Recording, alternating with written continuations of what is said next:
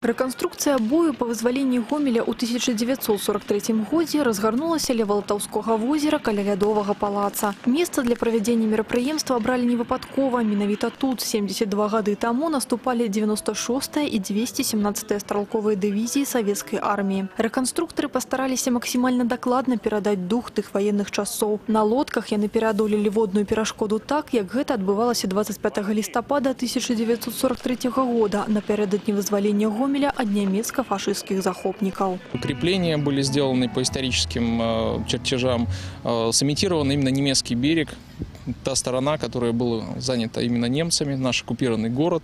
То есть это сторона Сажа, которая находилась со стороны Гомеля. А с противоположной стороны, вот с той стороны, мы имитируем тот тоже берег, который был занят Красной Армией, со стороны ветки вот этого направления. Здесь события рассматриваются с 10 ноября по 25 ноября 1943 года. У імітацыі бітвы была задзейнічана піратэхніка, стралковая зброя другой сусветнай вайны, абмундзіраванні, спецыяльна падрыхтаваныя акопы, рэтратэхніка і іншыя вайсковыя атрыбуты. Гучалі аўтаматныя чэргі, залпы гармат, разгарнуўся рукапашны бой. Усяго рэканструкцыі ваенных дзеянняў прынялі ўдзел каля 100 прадстаўнікоў розных гістарычных клубаў Беларусі і Расіі. Арганізатарам мерапрыемства выступіў гомельскі гарваканкам, актыўна падтрымалі яго таксама розныя гарадскія службы і установы. Ініцыятарам і галоўным ідэям ідэйным натхняльнікам маштабнага патрыятычнага дзейства стала военно-гістарычнае клубное объединение «Гонор мундира». Клуб у нас э, международный.